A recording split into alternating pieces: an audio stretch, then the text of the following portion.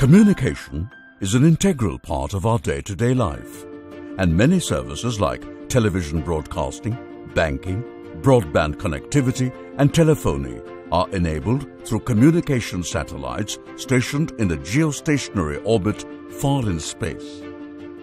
In the past three decades, ISRO has launched and maintained a constellation of communication satellites essentially for domestic use. ISRO's GSAT series, with more than a dozen satellites in orbit, is dedicated to provide communication services all over the country. GSAT-30 spacecraft is a high-power communication satellite. It will replace the aging INSAT 4A spacecraft. The satellite is based on ISRO's standard I3K satellite bus and will provide 12 normal C-band and 12 Ku band transponders. The satellite has three-axis stabilized, momentum-biased control system with a host of sensors, reaction wheels and thrusters. GSAT-30 is an advanced communication satellite with a liftoff mass of 3,357 kilograms to provide valuable communication services to the country for more than 15 years. This satellite will generate around 6 kilowatts of power. A host of new and advanced technologies are used to realize the satellite.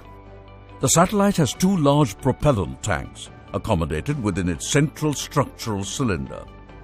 Liquid apogee motor, which is GSAT-30's main engine, is mounted on a separate deck which interfaces with the bottom ring of the cylinder. The power system of the satellite comprises of deployable double-sided solar arrays for generating electric power and a lithium-ion battery of 180 ampere hour capacity. GSAT 30 communication payload is equipped with 12 C-band transponders and 12 Ku-band transponders.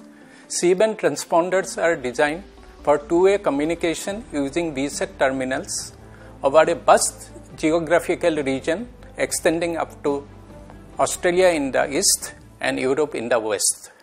GSAT 30 will provide continuity of direct to home TV services from this lot as well as digital satellite news gathering and very small aperture terminal services. KU band transponders will provide services over Indian mainland and islands. The onboard KU band beacon transmitter will help Earth stations to point their antennas precisely towards the satellite. GSAT 30 will be the 24th Indian satellite launched by the Ariane launch vehicle of Arianespace. the Ariane 5V vehicle carrying GSAT 30 on board Ariane 5 launch vehicle from the European spaceport in Kourou, French Guiana. First, the launcher will inject GSAT 30 into a 250 by 35,975 kilometer elliptical geosynchronous transfer orbit, commonly known as GTO. Subsequently, the satellite's orbit will be raised from the GTO to the final circular geostationary orbit GSO by controlled firing of its liquid apogee motor LAM in stages.